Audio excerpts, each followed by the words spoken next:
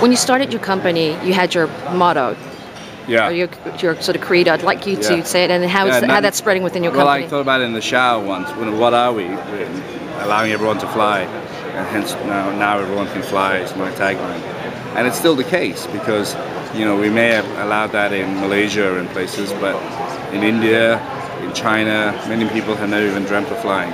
So we continue with that motto. It, aro- it revolves around one thesis: low costs. Low cost equals uh, low fares. And one other thing is because we're all here from the advertising industry, what do you expect from the adver- advertising industry and anything to encourage the entire gang here? Well, you know, one thing I've always found about the advertising industry, which I think is weak, Weak? is they don't understand the businesses well enough. And I think there's such a, a gap between sometimes the creative director and the, the account director, and uh, a lot a lot is lost in translation. I hope advertising companies spend more time with their companies and understand the business. You have a big plus if you're able to do that.